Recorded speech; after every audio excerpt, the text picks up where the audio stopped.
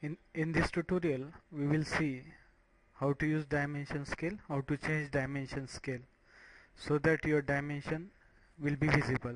Suppose if I give dimension to this object using linear first point, second point, location.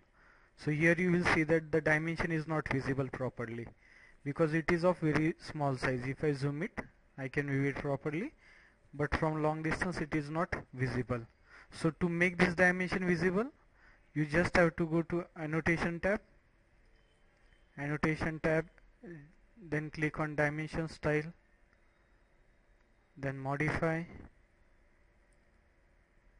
then select fit and change this use overall scale of factor.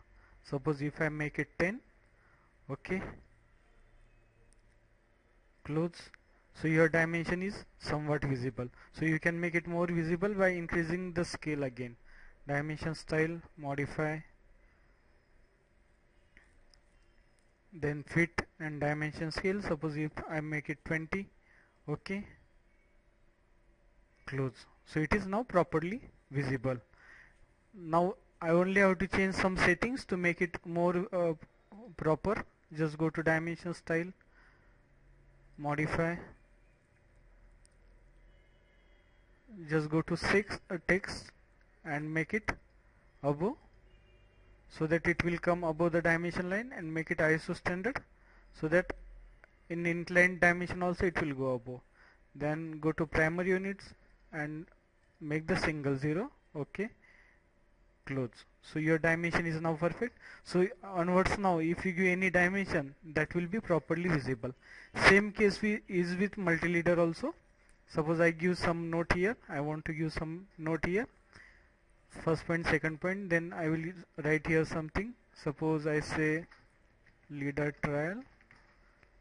I click outside. Now leader is also not properly visible. So to make that multi-leader properly visible you just go to annotation. Then below dimension style multi-leader style is there. Click on that. Say modify.